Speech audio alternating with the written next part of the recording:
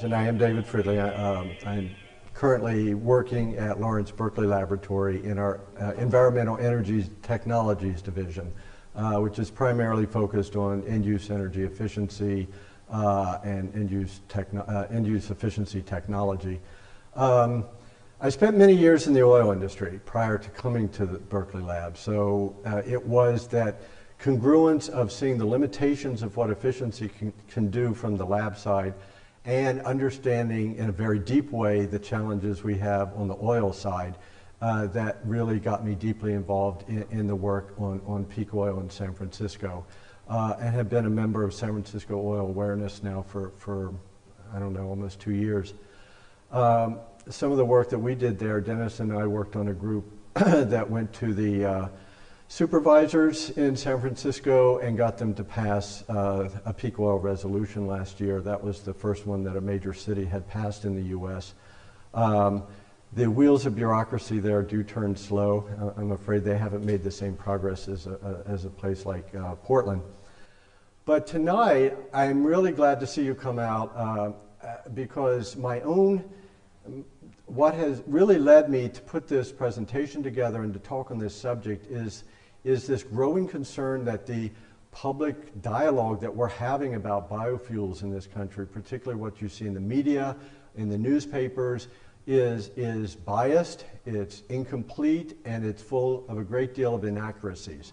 And so tonight, I'd really like to focus just in three areas, which is the energy science around biofuels, the environmental science around biofuels, and the ecological science around biofuels.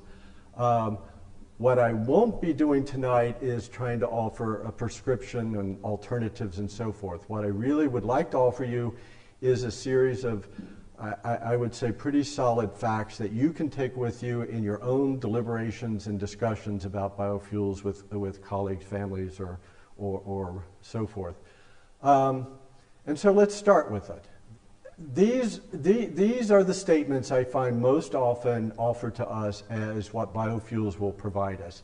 Um, that a large scale uh, biofuel production industry is sustainable and green, that it's environmentally friendly, it'll help uh, combat climate change, reduce CO2 emissions, that it's critical to the U.S. achieving energy independence, that it's good for the farmers. Uh, good for the land, that, that the second generation biofuels are going to save us, uh, and on and on and on.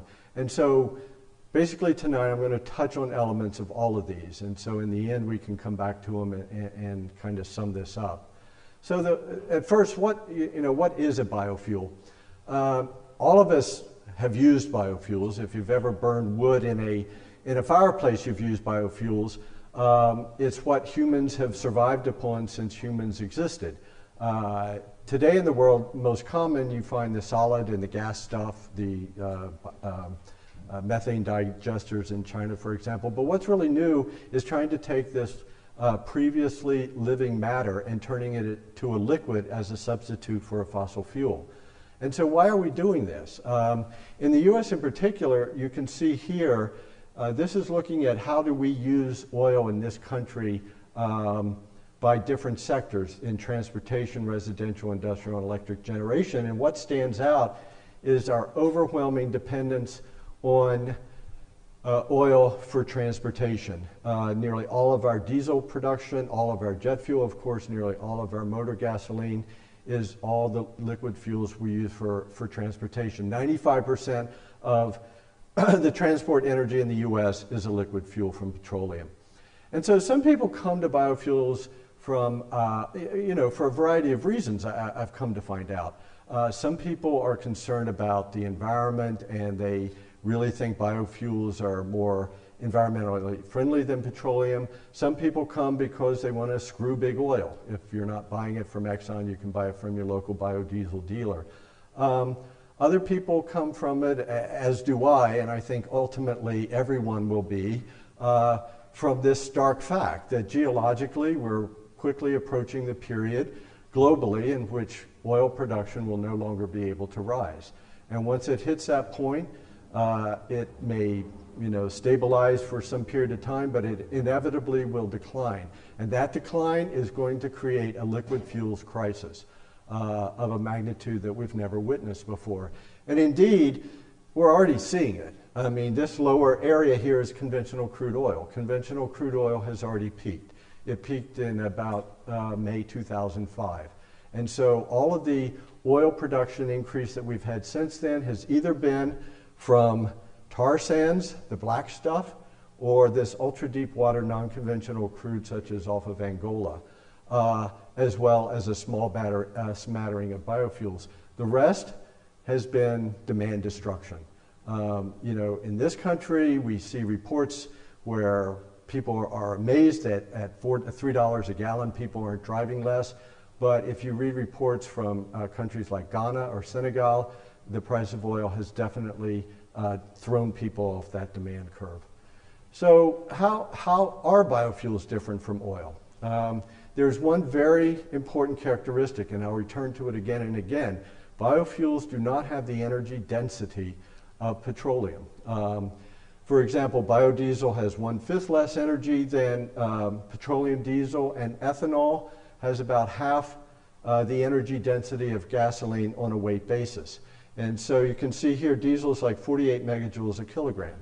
And so what, what does that mean in a everyday term? Um, uh, a kilogram of diesel is about two and a half pints. So it's about that much in liquid form. Um, a person every day needs between 9 and 10 megajoules that's about 2,000 to 2,500 calories to live. So, two and, two and a half pints of diesel contains enough energy uh, to keep you know, a person alive for five days. Now, if you contrast that with imagining the volume of food that it would you eat over five days, and you get a sense how this dense little liquid, uh, why it's so powerful, because it contains so much energy in such a small space.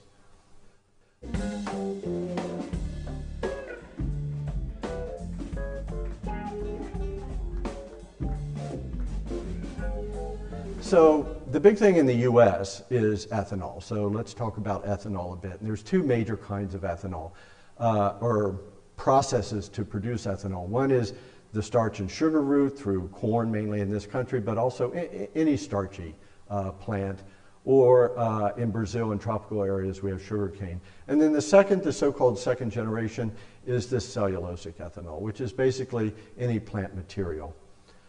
So, you know, ethanol production is not, um, well, as I like to say, it's not your grandpa's backyard still.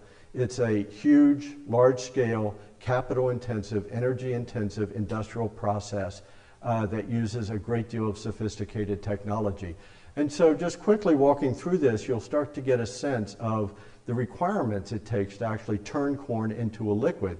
You have to bring the corn in, you have to use energy to grind it up, you have to cook it at 300 degrees to turn it into a slurry, and then you have to add these enzymes that go in and turn the starches into sugars, and then the sugar has to be fermented for two days and turned into a 10% alcohol beer. Um, I mean, that's what ethanol is, it's, it's alcohol. Um, but what we need in our cars, we can't use a 10% alcohol beer. We have to have 99.8% pure ethanol. So, so we have to distill it, uh, just like you're producing vodka. And that means Uh, and that can raise it up to 95% pure, but that's still not good enough because our internal combustion engines would seize up if we used it. So then we have to go through another phase called dehydration.